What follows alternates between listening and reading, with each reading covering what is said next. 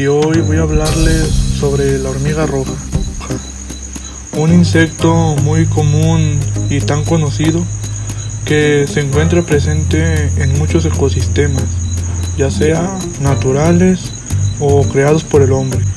Las hormigas son artrópodos mandibulados, traqueados, con tres pares de patas y un único par de antenas. La hormiga roja pertenece al orden Hymenoptera y a la familia Formicidae. Es una hormiga que siempre está en movimiento, constantemente cambiándose de una zona a otra, ya sea en césped, cepellones u otros productos agrícolas. Son una plaga para el hombre, pues la construcción de sus montículos u hormigueros puede dañar las raíces de las plantas, afectando las cosechas e interferir en los cultivos mecanizados. Es bastante común que varios montículos de hormigas aparezcan repentinamente en un jardín o en el campo de un agricultor, aparentemente durante la noche. Las hormigas son insectos de metamorfosis completa, es decir, pasan por cuatro estadios diferentes, huevo, larva, pupa y adulto. Las etapas de larva pasan por una fase de pupa antes de emerger como adulto. La larva es en gran parte inmóvil y es alimentada y cuidada por las hormigas obreras. Los alimentos le son entregados a las larvas por, un proceso en el cual una hormiga regresa alimentos líquidos de su estómago, aunque también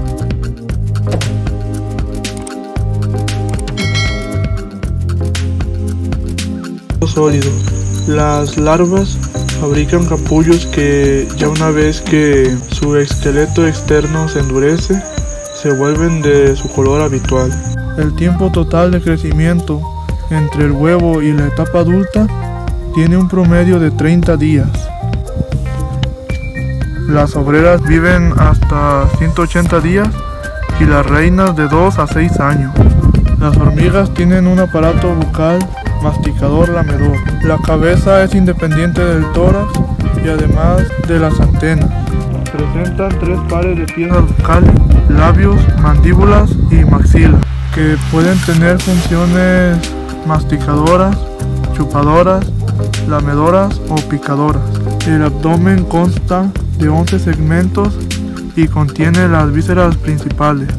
Las hormigas rojas son de importancia ecológica pues estos insectos tienen un papel crucial en los ecosistemas, ofreciendo diversos servicios ecosistémicos como el transporte de nutrientes, la descomposición de la materia orgánica o la dispersión de semillas. Sin embargo, también causan estragos a la agricultura y sistemas creados por el hombre. Aunque las hormigas no se alimentan de los cultivos, pueden afectar indirectamente resultado de la interacción con otros insectos con los que conviven en los cultivos. Producen cortes en semicírculos en las hojas, tallos y flores de las plantas y en ocasiones pueden defoliar un arbusto pequeño en una sola noche. Forman una especie de mutualismo con los insectos en los que ambos son beneficiados de las plantas. Por ejemplo, un caso muy conocido es el mutualismo que forman con los pulgones, pues los pulgones, tras alimentarse de la savia de las plantas, excretan una sustancia azucarada que recibe el nombre de melaza. Esta melaza resulta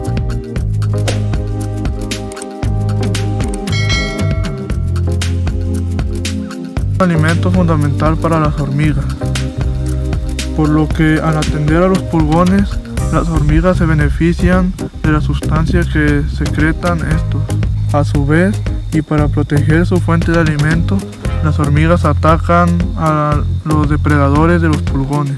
La hormiga roja es omnívora y su dieta incluye semillas, hongos, néctar e insectos, pero son capaces de comer alimentos que varían desde productos vegetales hasta presas animales.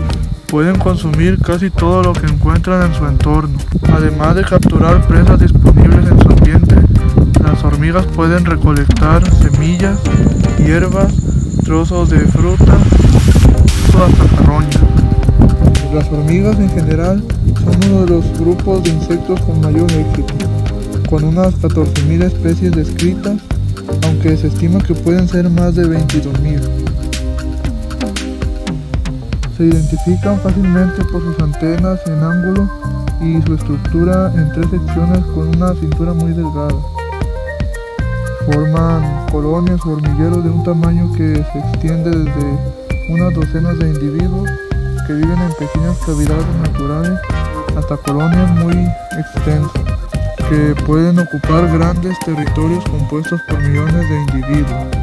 Estas grandes colonias consisten sobre todo en hembras estériles sin alas que forman castas de obreras, soldados y otros grupos especializados. Tienen un tamaño aproximado de 0.64 a 6.4 milímetros de largo y son de color marrón o rojo. Un dato muy importante es que la antena de una hormiga le permite rastrear y probar sus alimentos, detectar las corrientes de aire, sentir la textura de las superficies, escuchar y también oler. Las hormigas rojas también son conocidas por atacar a personas. Las hormigas muerden, no pican. Solo en algunas especies sí contienen aguijón, pero no en todos los casos. Los síntomas tras la mordedura de una hormiga roja se deben al veneno que inyectan, el cual es ácido fórmico, que se puede combatir con soluciones de amoníaco.